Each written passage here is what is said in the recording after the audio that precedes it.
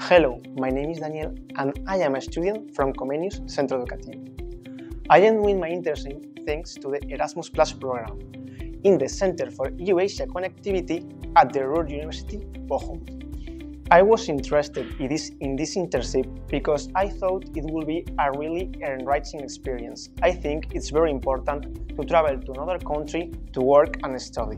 I can learn many things like different languages, culture, communication, and work style. I think I will learn a lot from this experience and it can also help me for my future career.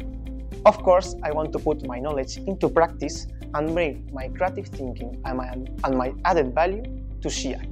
I think that studying and working in an international environment it's a unique experience that everybody should try.